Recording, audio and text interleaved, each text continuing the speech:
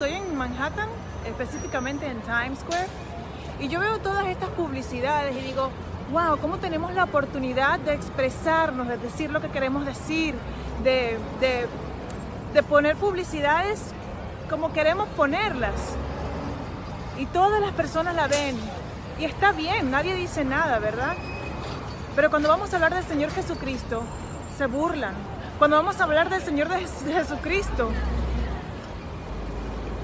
insultan al Señor, se burlan de, del Señor y nos maltratan a nosotros.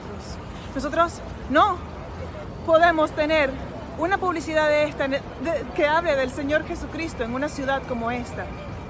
Pero sí hay publicidades que hablan de otro tipo de religiones, que hablan de otro tipo de creencias, sí hay publicidades con personas haciendo yoga. ¿Por qué cuando la gente quiere decir una grosería utiliza el nombre del Señor Jesús? ¿Por qué no dicen Buda? ¿Por qué no dicen Mohammed? ¿Por qué no dicen el nombre de otras personas que han querido tomar el puesto del Señor Jesucristo. ¿Por qué? Porque hay un espíritu que se llama el espíritu anticristo. El espíritu anticristo que está operando en todo el mundo, está operando en los músicos, está operando en los negocios, está operando en las familias, está operando también en las iglesias. No es para quedarnos callados. Nosotros también tenemos el derecho de decir, amamos al Señor y esta es su palabra.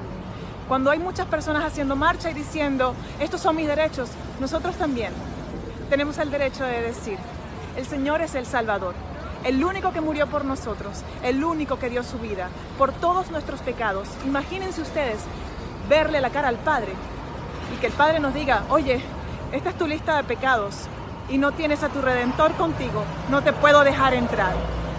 Que esa no sea nuestra porción. Que Dios los bendiga.